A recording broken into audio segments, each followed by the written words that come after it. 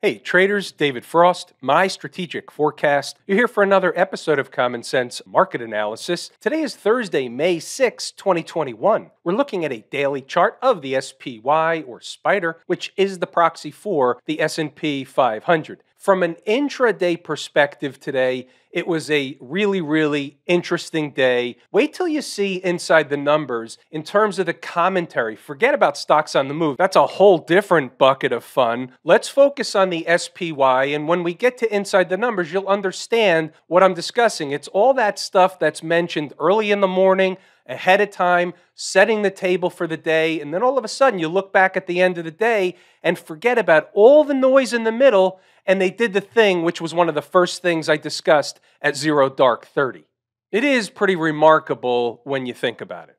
What was one of those things? Well, we're going to discuss it now because we're looking at the daily chart. We're interested in what's jumping off the page on the daily chart. It's pretty obvious right now. So the trend is our friend until she throws your stuff out the second story window.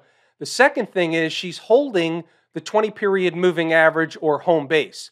What's the 413.50 all about? What's that horizontal trend line? It looks like that was low of day. Well, it's interesting enough, really wasn't low of day. It was close to low of day. Low of day was 413.68. 413.50 was my buy area. Ouch. It's not really as it sounds. There's other opportunities as the day unfolds. We'll get to that later. But what's jumping off the page is really the trend is the dominant thing. They're running higher. All they've done is eat time off the clock, and they haven't really wavered from the same thing we've been discussing about for days and days and days. What is that thing? As long as they hold the breakup candle low, which they ran one test, the low is 412.79. They ran one test, the low here the other day, 411.67. And here we go. So, what did they do today? They ran a retrace of the tail candle set on the 4th, which was two days ago on Turnaround Tuesday. What is all that about? That's something that's discussed in detail in the course, along with a lot of other things, Lazy E Mini Trader. It's where we learn the foundation of how the market works. So, back to the thing that they're actually doing. Well, if you look at this from this perspective, here's the breakup candle. They tested the low. They were putting in a bull flag pattern. This was Fed day up here. So, we'll call that an anomaly for the time being. Putting in a bull flag, the bull flag starts to fail. They run a test of the breakup candle low, and that's always the risk of those bull flag patterns. And we say that before the fact. What's the risk of the bull flag pattern? The risk is they run down to make a test of the low of the breakup candle that was originally creating the bull flag pattern. That's the flagpole, right? So when they ran a test, it breaks apart the flag pattern, but it doesn't break apart the bullishness, the bullish pattern, as long as they didn't close below that low, it's still intact. Nothing has really changed. It's just a different look, a different pattern. It's the trick, trap, fool, and frustrate crew shaking out the people playing long for the rise out of the bull flag pattern. That's all they did. Nothing more, nothing less. So, from a technical perspective, looking at the daily chart, what is she poised to do? She's pushing higher. She's poised to continue to break out to new highs again until and unless we see a failure. Can we see a failure? Of course we can. At this point, we're going to use 416 as the bogey. If we find the market below 416 on hourly closes, they open the day on Friday below 416, something like that. That's the beginnings, that's the recipe for a failure. Until and unless you see something like that going on, they're poised to continue higher out of this bullish pattern that's been developing by them eating time off the clock in a rising trend formation with the 20 period moving average rising up and price holding the 20 period moving average. That's the story. Just as a refresher, when you look at the weekly chart, what do you see? You see an uptrend Obviously, home base is a little far from current price, but it can stay that way. It's been that way for a while. We just note it. There's nothing we can directly do with that information. It's an awareness that price really doesn't love to get too far from home base. When they do get too far, we can begin looking for some kind of a stall out, run sideways, let home base creep up the price. You know the routine. But other than that, all they're doing is back and forth, eating time off the clock, pushing higher. That's it. Until that changes, that's what's happening. We take the market at face value until the face changes. Then what do we do?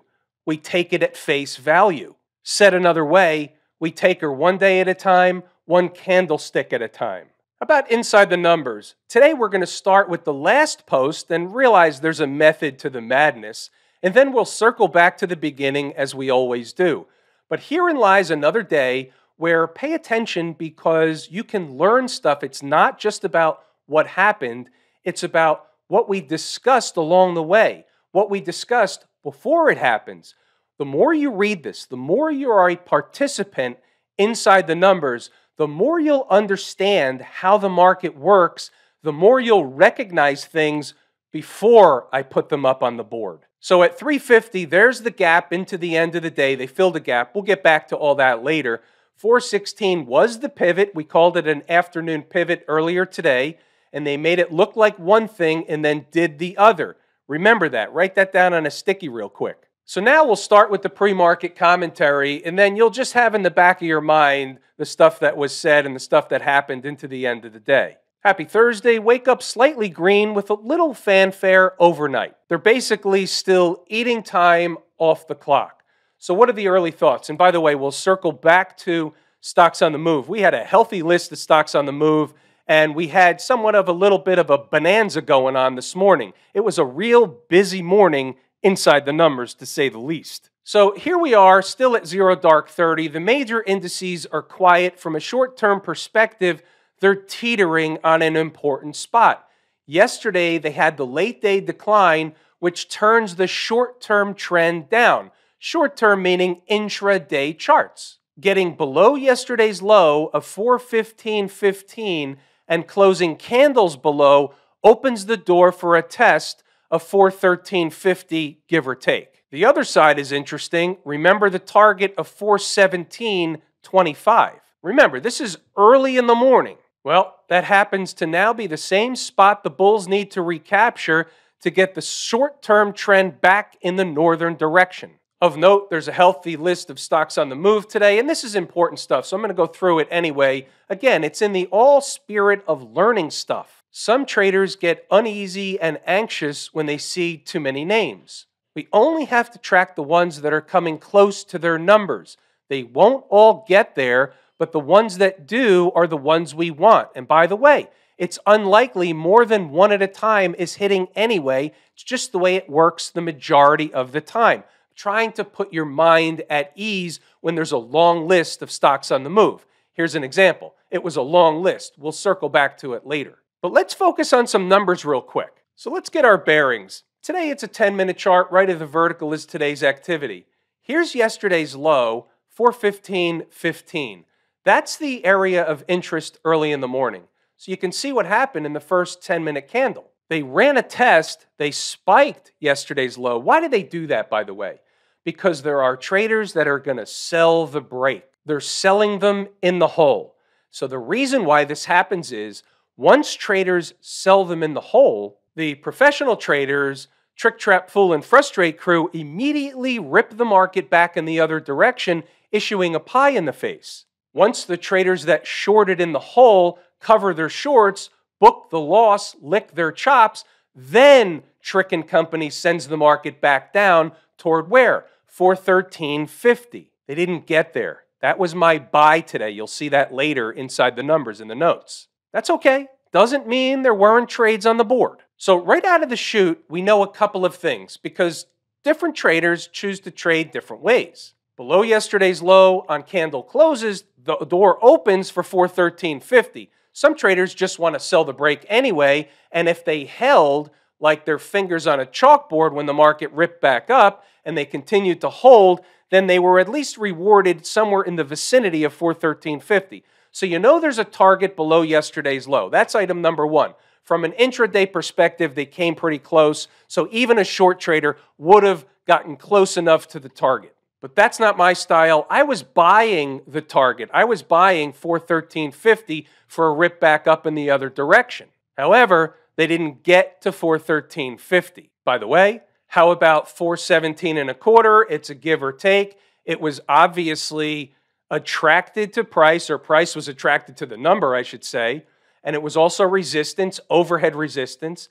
They did pull back. And then when they went up again into the end of the day, they went for a gap that existed right around 418.20. You'll also see that in the notes. So it's helpful to know the important numbers as the day gets underway before the day even gets started.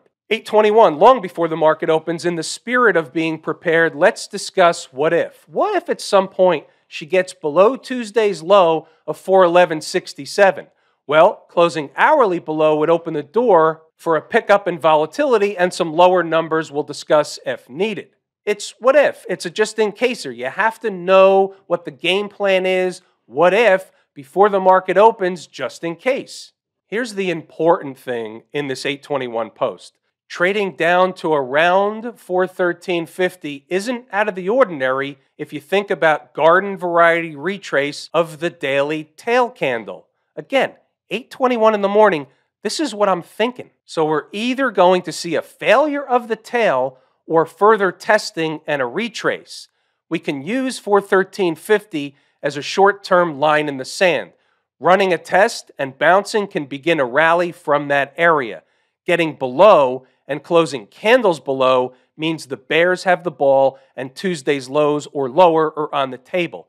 821, this is what I'm thinking. Now let's look at the daily chart again and play Monday morning quarterback and say, what happened today?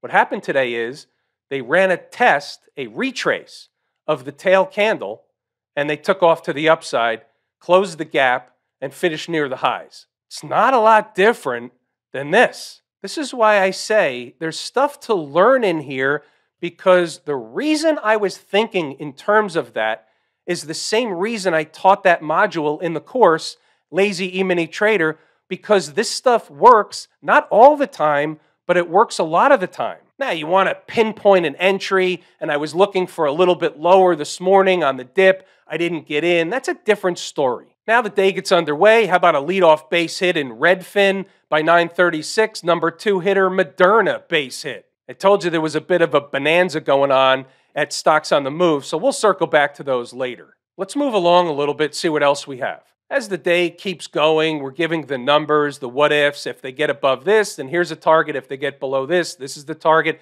You can pause the video and read the notes for yourself and double check the work back on the charts to see what happened after the notes were posted. I want you to see what's discussed here. I want you to see what's being taught here every single day. It's not just the numbers. 10 o'clock, 10.07, again, still no change, 413.50. That's what I was zeroed in on. We're moving along. We'll circle back to Moderna. I'm not going to go over that now. We'll do it with the chart. No change to the SPY. I've got a zone. 413.50 was the top of my zone today, down to 412.80. They didn't hit the top, so be it. I've said it nine times, 10 times. I won't say it again. Again, pause the video, read the notes. I'm going to highlight a couple of other things. So let's keep going a little bit so we can get to those other things. Let's check this one out 1104. 414.20 is an important line in the sand on the south side. Running a test and getting out of there in a hurry is okay. Getting below and closing candles below opens the door for 413.50 and lower. If they run sideways for a while, any time off the clock under 415.40, they're building energy to take the next leg higher. That's the current schematic. So I'm giving you both sides because I'm going to take a break for a while. But let's think about 414.20. Now let's think about this for a second because I could be on candid camera.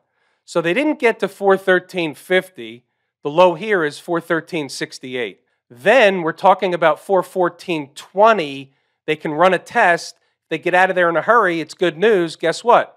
Here's a low of 414.24, missing it by 4 cents. Now it's a give or take, but still, you can't make this stuff up sometimes. Fastly, again, we'll get back to stocks on the move.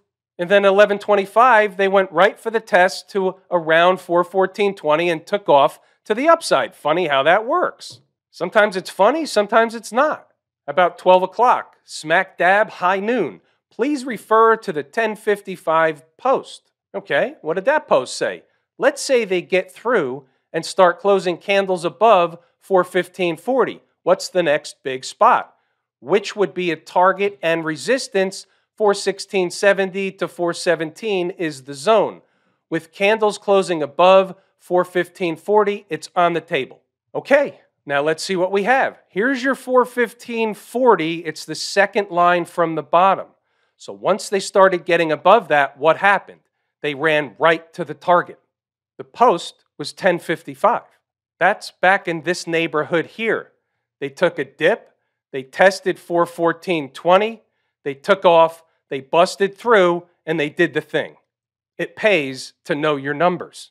Okay, back to high noon. You see what happens here. Above 417.25, fuel for another leg higher, the gap around 418.20. Now check this out. Now let's realize they missed it yesterday by not that much and sold off. It's like a recocking of the weapon. What does that mean? They may not stop at the gap if they go, still back after lunchtime. Three and a half hours or so before they hit the gap, I'm telling you, they're not going to stop. That was don't short the gap. We're moving along. Now we come back at 1232 with how do we treat the gap? Should they run up there sooner than later? Here's inside my head. They do it quickly, like within the next 30 to 45 minutes, which didn't happen so it was not a short. They'll likely get rejected. If they pull back and stay in a chop shop formation, then a trader can be long for the ride up to fill the gap around 418.20. What happened? They rode up and filled the gap. Getting below and closing candles below 416 likely takes that concept off the table. Staying above and possibly running a test down in that area would be a reasonable long side trade as they don't close 10 and 15 minute candles below there. They did. That was sponsored by the Trick Trap Fool and Frustrate crew. And so let me finish out that post so you can read the rest on your own if you so choose. What we'll do is scroll up and see what else happened. 416 is the line in the sand. It was the line in the sand over and over and over again. What happened was they played games with it. 416 is our afternoon pivot. And you can see here, highlighted as a red line in the sand. 416 was the issue. They had to stay above 416. We talked about it all day long. They closed two 10 minute candles below and two 15 minute candles below over here in the afternoon. And then, once they shook out enough traders, they took off to the upside and never looked back. 416 was the pivot. So I'll take you into the end of the day. You can pause the video and obviously read the rest of the notes on your own. But here's what I'll say if you're trading in the market during the day and you're not using this information, I hope you have the same or similar information because this is pretty good. Here's a list of stocks on the move. It's a long list RKT, Uber, Norwegian Cruise Lines, Fastly, Etsy, Cardinal Health, Pfizer, QUOT. Who are they? RDFN, that's Redfin, and Moderna, the last one. Only one out of this entire list did not hit their price objective or entry target. Let's take a look at some charts. We're going to speed things up a little bit because I don't want the video to get too far extended beyond home base. But the first one we'll look at is rockets. And the obvious reason why I put this one on the board is because I wanted to be able to say we had a rocket ride. Here's a five minute chart. You can see what happened. Price got up to 1978 before pulling back. That's a tremendous rip off a $19 stock. We're talking day trades here. About Uber? So Uber 46.45 was the number on the board bright and early. You see what happened. Got to a high of 47.85 before fizzling out, but guess what? That's like a buck 30 or so. Maybe even a buck 40 with the new math. Norwegian Cruise, kind of a dud. I mean, technically it worked, but who's taking this trade in the afternoon after they ate time off the clock over the number all afternoon long? So, really, technically, you want the one that comes straight into it, but the numbers work. Fastly, I thought this one had a chance to be low of day when it happened, 43.15. Now, I wouldn't blame a trader for not taking the trade. You see what happened, it hovered over the number, but it was a big number. And 43.15 worked to the point of 44.37. So when you think about a $1.30 gain of $43, that's more than a base hit. You at least got to second base from a day trade perspective. Then it failed, but it still did the deal. Remember, base hits put you in the Hall of Fame. Stock was down 25% on the day by the time it got there. You have to think to yourself, why that number? There were other numbers. Why that number? Was nowhere near there at the opening bell. Just as an example, here's a weekly chart. Why not this breakup candle low? What kept me away from that? This is always part art form, part science. Etsy did a little dance. I didn't like this one. Made a low of 162.30 and bounced away. And you can see on the five minute chart, even made a low a little bit higher and bounced away more. That's really doing the deal. You don't want this trade anymore. Now, technically, they did the deal off the second number, but the second number was close to the first number. And when the second number is close to the first number, the reason is is because I can build a case either way that they can trade to either number and bounce. So when that happens, they both can work, but when they're jerking around above the first number, it's really a different kind of trade at the second number. It doesn't mean it can't work. It's just not necessarily the ideal scenario. That's the way I'll put it. Cardinal Health, how you doing? I don't really need to explain anything on this one, do I? Pfizer was the next one on the list that did not hit its number, so we'll skip that one. This QUOT was really a piece of garbage. It didn't really work. It didn't do anything. It just dripped all day long. Redfin worked real quick. You saw it in the notes inside the numbers, and then it failed. So the high was 56.97, so they gave you the base hit, and then that was it. And then when they came into the second number, if you were looking for the second number, they came up short and bounced. So the low here was 54.57, six cents away. They bounce, they give you the base hit. And what do I mean by that? The high in this candle here, even though they didn't hit the number, was 55.47. So they basically bounced a dollar, so they give you more than the base hit. And that takes the whole thing off the table from that point forward. So nobody should have been in Redfin. I go over this kind of stuff all the time. It was either the first number, you take a quick base hit, you sell half the position. When they come back down, you have to sell the other half so you still have a profit. Life goes on. And you had to save the best for last. Moderna, 144.21. I think this was the first one I put on the board at zero dark 30. I had it, I had the number, I was licking my chops, and it was a one and done. You'll notice there was only one entry number on the board, and the stop was 140.50. Any hourly close below that, and the thing just didn't work, period, full stop. And think about this one for a minute. There was a gap right here, and I didn't cite the gap. I didn't think they'd get to the gap. Why is that? Honestly, I don't know. I had one number, I saw it, I really didn't think twice about it. I put it up on the board, and I turned away and did something else. And Moderna was the number. Now, that wasn't the actual number that came out of the calculator, 144.21. It was lower. It wasn't the reason, but I'll give you a hint. The high in this candle here was 144. I'll just say that was part of the reason. Pretty remarkable rip off 144 and change. The high today was 163.47. You never know which ones are going to provide the rocket ride. What's going on over in Camp IWM? They're failing, they're failing, they're failing. They run a test, not all the way, but they run a test deeper into the breakup candle low or that general zone, and then they turn around and finish near the highs, yet still below the convergence of the same moving averages we've been discussing for the last several days. It's interesting. Think about what the S&P did the other day, put in the tail candle, and they ripped higher a couple of days later. All of a sudden the IWM puts in a similar tail candle in the middle of nowhere, and it also creates another higher low, and they finish on the highs of the day. Now, nothing to say they can't eclipse or get above those moving averages tomorrow. That's certainly possible, but this is what happened today. This is where they finished today. It's interesting. We have another higher low. Low, higher low, higher low, tail. Are they going to do this? It's possible. What's the other side? Well, remember the weekly chart. We were very concerned with where they're going to close the week out, Friday's close.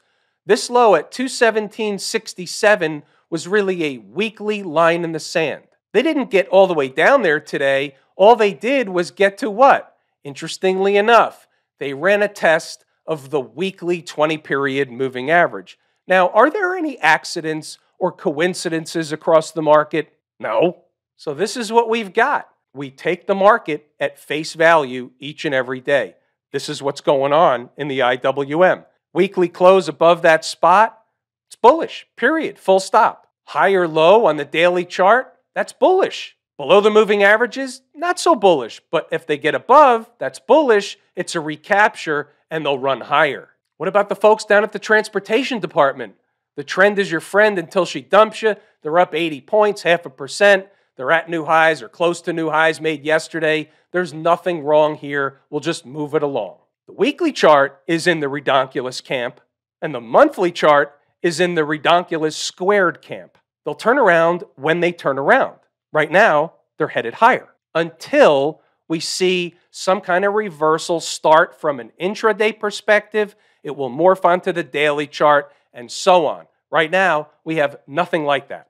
The folks out in Silicon Valley, well, we can make a case right here, and we're looking at the first thing that just jumped off the page at me, and I'm saying I saw a move lower, and basically this is the beginning of a bearish, flaggish, wedgish kind of pattern, some kind of channel developing down here.